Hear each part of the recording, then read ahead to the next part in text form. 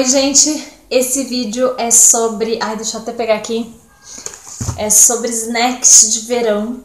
É... São coisinhas diferentes que eu tenho feito aí nesse verão para facilitar as crianças a comer mais saudável. Vocês sabem que eu sou toda isso, né? Tipo, natureba até na comida. E não no mau sentido, não assim super ultra, assim, mas eu curto. É substituir, né, por coisas mais, mais saudáveis e coisas desse tipo. Então eu vou falar um pouquinho sobre snacks de verão, que é o que eu tô fazendo agora no verão de diferente, assim, que, enfim, de diferente em casa com relação a, a comidas, né, das crianças. As crianças em casa, eles sempre estão comendo alguma coisa, sempre estão buscando coisa para comer, não só os mais velhos aí de 9 e 11 anos, mas a, a, a Elisa também, que tem quase 3 anos. Então eles sempre aí estão buscando coisa para ficar roendo em casa. E então eu faço com que a acessibilidade de coisas mais saudáveis é, seja mais fácil, do que né, facilite a, o acesso a coisas mais saudáveis, é, deles a coisas mais saudáveis. Enfim, é, ainda estou em ritmo de verão, em ritmo de férias, porque eles ainda estão tão de férias, graças a Deus. Eles vão ficar, vão voltar às aulas só na segunda quinzena de fevereiro. Eu particularmente queria que eles voltassem só depois do carnaval. Eu não curto eles de volta às aulas. Né, ao contrário de muitas mães aí, eu não gosto eles. É, prefiro mil vezes as férias do que o colégio. É, o colégio limita muito a nossa vida, assim, família. Então, assim, é, faz com que a gente não, não tenha tanto tempo. A gente, na verdade, é uma família freak, assim, a gente quer ter o máximo tempo possível entre a gente. Então, e eu acho que o colégio às vezes limita, não só no horário do colégio, como também com trabalhos e tal, faz com que a gente é, corra e, e, e, e acaba que regulando praticamente todo o dia é, em função da escola. Porque quando não tá no colégio, estão estudando, quando não tá estudando, tá dormindo, entendeu? Então é assim, fica praticamente assim a vida, eles estudando ou no colégio. E eu não gosto muito disso. Eu gosto de, né, de ter uma vida familiar gostosa, de ter tempo com eles, de brincar com eles, de fazer coisas que só nos beneficiem, entendeu? Que não é, que não seja tipo trabalhos para outras coisas, entendeu? A gente tá fazendo a horta de casa agora é, tem um cantinho aqui em casa, na Casa Nova, um cantinho enorme que a gente vai fazer a horta. É, então vamos plantar um monte de coisa, eles estão super empolgados em me ajudar a fazer a hortinha. E eu vou fazer um vídeo quando estiver pronto, mas a gente está indo ainda lento, provavelmente gente não vai terminar nessas férias. É, mas enfim, o vídeo é sobre snacks de verão. Então vamos lá, vou falar mais ou menos. Na verdade, gente, não é assim um vídeo longo com diversas dicas. Na verdade, é uma coisinha ou outra que eu fiz de diferente e que às vezes pode ajudar vocês, às vezes não, às vezes vocês já fizeram, mas enfim, eu vou falar o que eu tô fazendo. É, primeiramente, é, eu compro muita fruta, né, gente? A gente aqui gasta muito em fruta, assim. A gente compra books, assim, caixa de fruta. É, e uma vez por semana, né? Geralmente eu faço feira. Mas o que acontece? Muitas vezes eu compro coisas que estão quase já é, maduras, já maduras demais. E eles não dão conta, né? Por mais que eles comam bastante fruta, são crianças que gostam de comer bastante fruta. É, às vezes eu vejo, por exemplo, mamão, tipo assim, que eu olho e falo, meu, se não for hoje, amanhã vai estragar. Ou banana acontece muito de eu olhar e falar, meu, essa banana aí, se eles não comerem agora, vai estragar com certeza. É, abacate também acontece. Então, assim, quando eu vejo que a fruta tá muito madura e eu sei que eles vão comer outras coisas e vai acabar a poss grande possibilidade daquela fruta estragando, é, eu faço é, eu faço uma coisa simples que é congelar. É, congelo igual a banana é uma maravilha congelar, gente, porque a banana você tira da casca, você põe no saquinho e põe no congelador ela mantém assim intacta, intacta. Você deixa a banana um tempasso no congelador, você pega a banana tá como se estivesse aberto naquela hora. Ela não fica preta nem nada disso. Então é muito bacana isso. Eu congelo todas as frutas muito maduras que eu sei que pode apodrecer a qualquer momento, então eu vou e congelo. É, no congelador eles têm, eu geralmente faço duas coisas, das duas uma. Ou faço suco, mas daí banana já não é o caso, né? desculpa. Mas daí banana já não é o caso. Mas geralmente, por exemplo, com melancia, eu separo com abacaxi. Eu separo para fazer suco, laranja também acontece, laranja muito madura, eu vejo que não vão comer, eu já descasco e coloco descascadinha pronta no congelador. Então geralmente eu bato para fazer suco ou para fazer smoothie. Smoothie eu vou falar para vocês mais é, no final do vídeo direitinho como é. Mas é bem rápido, bem prático e a gente tá gostando muito aqui. Então assim, das duas uma, um suco ou as frutas congeladas viram suco ou viram smoothie. É, morango eu também faço muito isso. Morango dá pra ou virar smoothie ou virar suco, tanto faz. É, mas tem coisas que é mais assim, suco mais smoothies. Banana, por exemplo, suco não é muito bacana. Mamão também não. Mas enfim. Então geralmente congelo. Então a minha dica é congelar. Você vê que vai estragar, pum, congela. Coloca num saquinho, congela. Pra virar o smoothie ou é, suco. É, outra coisa, antes de falar dos smoothies, eu vou falar da disponibilidade de frutas na minha geladeira. O que acontece? A gente tá absolutamente lotado de potes de sorvete aqui em casa, com certeza na casa de todo mundo, né? Que essa é a época onde os potes de sorvetes caem do céu, né? Então, meu marido ainda compra muito sorvete assim.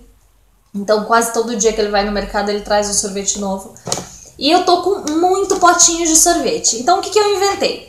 Eu ali na geladeira, não muito embaixo e nem muito em cima, um lugar onde a, a, a Elisa de quase 3 tem acesso. Então, geralmente na penúltima é, estante da geladeira ali, logo depois da última, eu coloco essas caixinhas de sorvete, uma do ladinho da outra, bem bonitinho, e pico diferentes tipos de fruta. Porque o que acontece aqui em casa? O Paulo, ele, ele trabalha em casa, ele trabalha até muito tarde. Geralmente eu fico com ele até o horário dele para cama. Então, geralmente é bem tarde.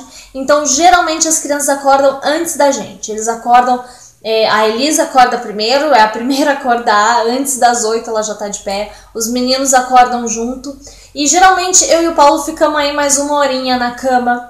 E esse tempo, eles eles gostam de comer muita fruta. Eles acordam, já vão direto para ver o que tem de fruta. Então, na noite antes, na noite anterior, geralmente, eu é, corto, por exemplo, descasco abacaxi, corto em pedacinhos e coloco aqui. Aqui coloco, por exemplo, pedacinhos de melancia prontos. É, aqui eu lavo uva, coloco. Fica um do ladinho do outro, direitinho ali na geladeira, pronto para só pegar e começar a comer. Então achei uma coisa muito bacana. Eu, na verdade, foi na, sabe, na hora que eu decidi começar a fazer isso, porque eu vi que eles estavam buscando muita fruta de manhã para comer e eu achei muito bacana. Então eu comecei a melhorar a acessibilidade deles à fruta à, geladeira. Óbvio que a minha pequena de quase três, ela ainda ela não abre a geladeira, graças a Deus. Mas como quando ela tá acordada, os meninos maiores sempre estão acordados com ela, eles acabam abrindo a geladeira e daí se deliciam aí com toda a variedade de fruta já lavadinha, já arrumadinha para eles só comerem. Então assim, outra dica é usar então esse, se vocês colocarem na geladeira, gente, na estante da geladeira, um do ladinho do outro, vocês vão ver que parece que foi feito para isso. Tipo, cabe bonitinho e fica tão bonitinho, tão organizadinho, uma frutinha em cada um é, separado, né? E, e ela olha já, daí a Elisa já olha ali, já vê tudo que tem, já pede daí para eles o que quer. Então, assim, parece que foi feito para isso. O tamanho fica certinho, sabe? Geralmente eu coloco uns três ou quatro, cabe ali na frente, e daí uns dois atrás, que são das frutas que é para as primeiras para ir, estão mais na frente, né? Aí quando acaba eu já puxo a caixinha de trás e já coloco ali em caixa e eles já comem também. Então, assim, outra dica é isso: é usar esses potinhos para é, frutas prontas e é, já só pegar, só para criança pegar e já comer. E fácil acesso, né? De fácil acesso. Não tem assim que descascar ou que lavar ou que não. Já tá tudo prontinho, é só eles pegarem. Então agora a gente vai falar dos smoothies. É, eu no final do vídeo vou, vou colocar as, as as fotinhos. Outra coisa também que eu queria falar é do sorvete. Eu comprei na Casa China aqueles tradezinho de sorvete. Esses sorvetes caseiros, né, gente? Então, outra coisa bacana para fazer, mesmo com frutas congeladas, é você bater a fruta e fazer sorvete, né? Bater ou com leite, ou com leite de coco, ou com água de coco. É, enfim, né? Fazer uma vitamina qualquer e colocar E, e, gente, o que eu notei é que mesmo as frutas que eles não gostam muito, quando tá batido com como sorvete, como esses picolézinho, né, de casa, caseiro, eles comem, assim, comem muito, sabe? Então, igual a Elisa, a Elisa não curte muito mamão, mas quando tá batidinho e, e feito sorvete, assim, nesses tradezinhos de sorvete caseiro, ela super come, entendeu? Então, assim, também outra dica é esse. Eu, na verdade, comprei um tradezinho desse, me arrependi, de devia ter comprado uns três ou quatro para fazer vários. Então, ainda tô para voltar lá na Casa China e comprar mais uns dois ou três trades de sorvete desse. É, então, agora a gente vai pro smoothies. Smoothies, o que, que é, gente? É, eu descobri faz pouco tempo, vendo uns canais aí americanos. Na verdade, o smoothie seria uma vitamina, né? O que a gente conhece por vitamina, mas mais assim, boosted, assim, mais forte. É, mais. Parou do nada de, de gravar.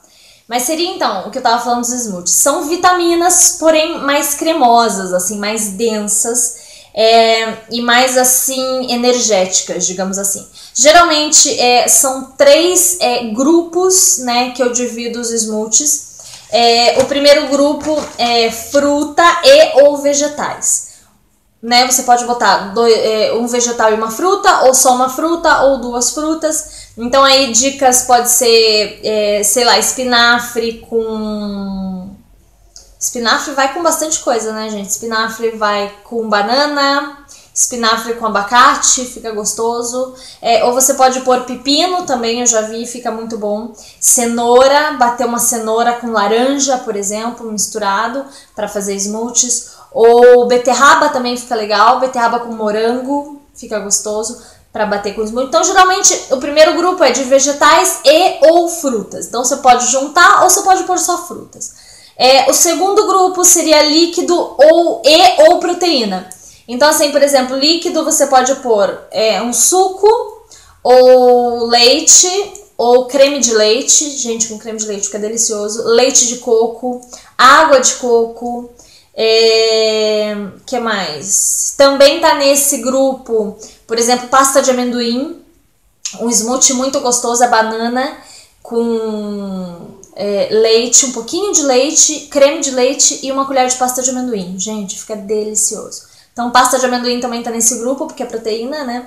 É, proteína em pó também, né? Eu vi aí num, num canal aí bem bacana no, na GNT, tem aquele Comer Bem, que mal tem, se eu não me engano. É um programa bem legal. E ele geralmente coloca uma colher de proteína em pó. E é bem bacana. Eu já achei, eu tenho aí umas proteínas, porque o Paulo geralmente consome bastante proteína. Então, geralmente eu coloco aí uma colherinha em alguns smoothies, não em todos. Coloco uma, uma colherinha de proteína para as crianças. Então é bem bacana. É, e o terceiro grupo é um saborzinho e ou sementes. Então, assim, saborzinho seria o quê? Seria gengibre, é, ou hortelã, canela, é, essência de baunilha, é, semente seria chia, linhaça, é, que mais, gente? É, nozes, aveia, que fica muito gostoso. Eu tô com um, um papel aqui para me, me guiar. Mel, entendeu? Também tá nesse grupo. É, coco ralado, entende? Agora eu tô com a minha câmera, gente, de verdade. Porque disse que, que tinha ido embora o limite aqui. É, bem, eu tava falando dos smoothies, então deu tempo de eu conversar, falar sobre, né, dar várias dicas aí do terceiro grupo, que seria o sabor e barra e ou sementes, né, que eu falei hortelã, falei canela, baunilha, é, gengibre, enfim. É, seria esse último grupo. Então você mistura esses três grupos e deixa a gente bem é, denso, sabe? O smoothie, é, ele é bem denso, ele não é muito é, líquido como uma vitamina seria. É, eu, na verdade, vou, vou aproveitar que o celular não me deixou mais gravar e daí vou, vou mostrar pra vocês então algumas fotinhos. Pô, sério, que você não vai nem me deixar a fotinho? Bem, vou reiniciar aqui. Então é isso, gente. É, são essas dicas, na verdade, que foi o que eu fiz de diferente aqui em casa. É, que mais que eu posso falar pra vocês? É isso, eu tô esperando reiniciar o meu celular. Esse vídeo tá sendo super complicado gravar, sabe? Não sei o que tá acontecendo, acho que o Cosmos não quer que eu grave esse vídeo, Porque ontem eu tentei umas oito vezes, ou a máquina acabava a bateria, ou meu celular também não tinha bateria, e agora o meu celular, eu tava gravando no celular e ele parou do nada, dizendo que não tem mais espaço. Como assim não tem espaço? Eu quase não gravo nada no celular. Enfim, então gente, se vocês quiserem saber mais sobre smoothies, coloquem aí no Google, só colocar smoothies, smoothies, receitas, e vai vir 500 tipos e, e, gente, é super bacana, as crianças amaram. Eu no final, aqui vai demorar pra reiniciar tudo. No final do vídeo, então, eu vou colocar umas fotinhas de alguns smoothies que eu fiz, é, que eu coloquei no Instagram. É, o meu endereço do Instagram tá aqui embaixo sempre. E é isso, gente. Obrigada por assistir esse vídeo. Já vou fechar, tomara que dê certo agora. Vou renderizar e esse fim de semana já coloco pra vocês aí no canal. Beijo, gente. Até o próximo.